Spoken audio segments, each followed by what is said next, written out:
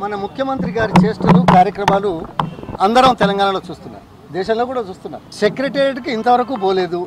అంటే పరిపాలనలో భాగంగా ఉండే ఆ కార్యాలయానికి వెళ్ళకుండా ఉన్న ఏకైక ముఖ్యమంత్రి ఈ దేశంలో కేసీఆర్ ఒక్కడే. ఫామ్ హౌస్ పెట్టుకున్నాడు.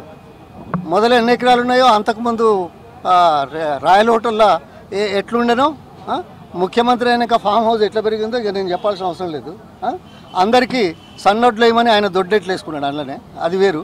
కో ఎకరానికి కోటి రూపాయలు సంపాదిస్తున్నా అని ఆ కోటి రూపాయల సంపాదన కష్టపడి అక్కడనే నెలల కొద్ది ఉంటాడు.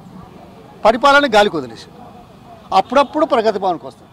ఇవాళ ఢిల్లీలో ఉన్నాడా? వారం రోజులైంది ఎప్పుడు ఇన్ని రోజులు లేడు? దేనికోసం ఉన్నాడు? ప్రజల కోసం ఉన్నాడా? లేకుంటే కేంద్ర ప్రభుత్వం నుంచి రావాల్సిన వాడిని సాధించుకోవడానికి చేశాడా? రీ రీఆర్గనైజేషన్ బిల్లులో ఉన్న అంశాల మీద నోరిప్పాడా ఢిల్లీలో? లేదు కదా? మళ్ళా అధికారులను ఇక్కడి నుంచి స్పెషల్ ఫ్లైట్. ఓ ఆయనే ఒక ఫ్లైట్ కొనుక్కోగా అధికారులను స్పెషల్ ఫ్లైట్ రమ్మంటే తప్ప చెప్పింది చేయడు చేసేది చెప్పడు ఎందుకు పోయింది చెప్పడు ఆయనకు పోయి రాష్ట్రానికి కావాల్సిన విషయాలు చెప్పడు దాని మీద కాలయాపన ఇగో ఇది పరిపాలన. ఇది పరిపాలన అంటారా? ఇది ప్రజాహితం అంటారా? రాష్ట్రానికి మేలు జరుగుతుందంటారా? ఆ?